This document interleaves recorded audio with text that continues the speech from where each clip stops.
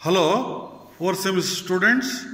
I am S. Krishnappa, Associate Professor, Kottureshwara Degree College, Department of Physics, Kottur. Today, I am going to explain the construction of a simple multimeter. So that is a very important experiment in fourth semester also. I told in different practical classes that this year you will find almost all optics experiments and three to four electrical experiments. You have to do the experiments in the classroom, practical classroom, very clearly. Then only it is possible to do the practical examination very clearly. So, and Viva questions also plays an important role. Yes. Look here. I am going to show an equipment which is going to be called a multimeter. What is a multimeter? A multimeter is a device which is used to measure resistance, voltage, and also current. DC current, AC current, DC voltage, AC voltage. For multiple purposes, this equipment is plays an important role in physics department related to electrical circuits. So because of that, let us study what is the calibration of a galvanometer into a ohm meter as well as a voltmeter as well as an ammeter. What should be the construction of a simple multimeter? Let us see. See for that beginning you are using an electrical network. I told many times that electrical circuit you have to make the connections by yourself in the examination. For that you have to be practiced using these electrical wires. These are the electrical wires which consists of copper wire. You have to connect them very clearly. Don't connect this insulator. So the first part of this experiment is connect all these wires. R1 goes to R2, R2 goes to a battery, battery goes to a galvanometer. This is galvanometer. Galvanometer goes to a resistance R1. This is called R1. This is called R2. So because of that, let us see. First point is calculation of galvanometer current. Calculation of galvanometer current. So because of that, let us see. This is R1. This is R2. So it consists of number of resistance. So keeping the value of R2 constant, vary the value of R1 and note down the deflection in the galvanometer. Here is the deflection in the galvanometer. 0 to 30, 0 to 30 divisions. Each division you are going to count 1, 2, 3, 4 like that. Now let us start by owning this battery. Here is a switch. You on it, you are going to get the voltage. You can keep around 0.4 volts here. That becomes the EMF of the cell. So by owning it, you are going to observe the deflection. Look at that. You have to adjust this R1 in such a way that deflection should be on the scale. Don't go beyond this scale.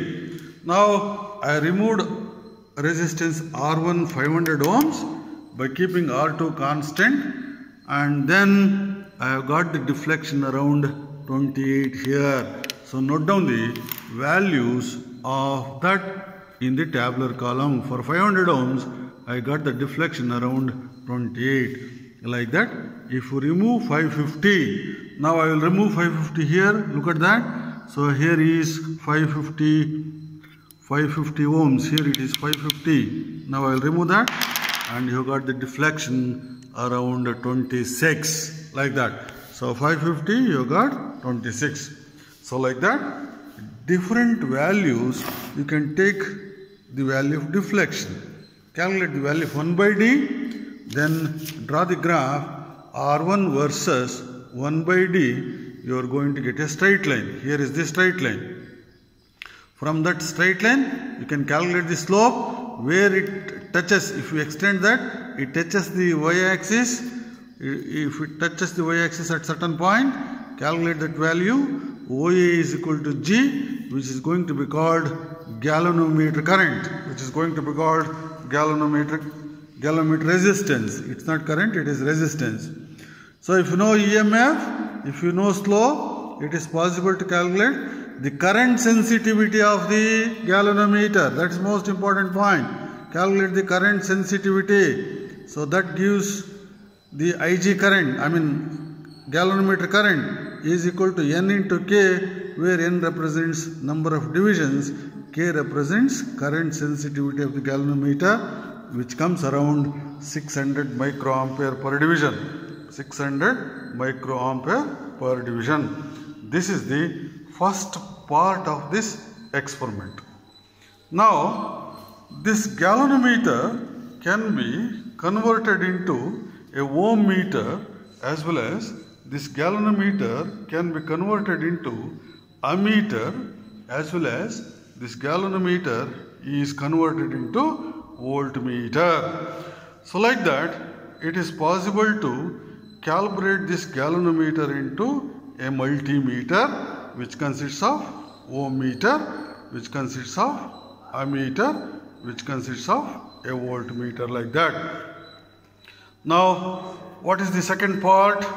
By keeping the value of R1 constant now, this is R1, note down the value of R2 and take the values in such a way that you have to get the even deflection. You have to get the even deflection.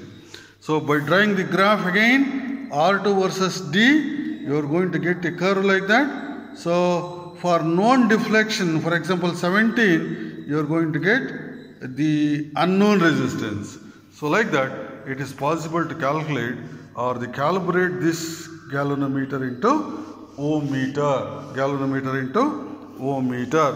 Now, the second part of this experiment will be so conversion of galvanometer into galvanometer into ammeter. How to do that? So it is possible to convert this galvanometer into ammeter by connecting a very small resistance, very small resistance in series. In series. See, for example, conversion of galvanometer into ammeter is done by using this formula SC is equal to Ig into G divided by I minus Ig, where you can calibrate that voltmeter. You can calibrate this voltmeter, I mean galvanometer into so 1 milliamperes of ammeter 10 milliamperes or 100 milliamperes like that like that it is possible to calibrate this galvanometer into ammeter similarly it is possible to calibrate this galvanometer into voltmeter by connecting a very high resistance in series very high resistance in series with the galvanometer it is possible to calibrate this galvanometer into voltmeter using the formula R is equal to V divided by Ig minus G where G represents the galvanometer resistance. For example, if you take V is equal to 1 volt, that voltmeter, I mean galvanometer can be calibrated into voltmeter. Similarly, you can do number of examples. We take the value 5 volts, we take the value 10 volts. Like that, it is possible to construct a very simple multimeter which is used to measure resistances, voltages as well as currents. So this plays an important role in physics department to measure the voltages, currents, resistances in different electrical circuits. In network theorems, wherever you go, you have to measure the voltages like this.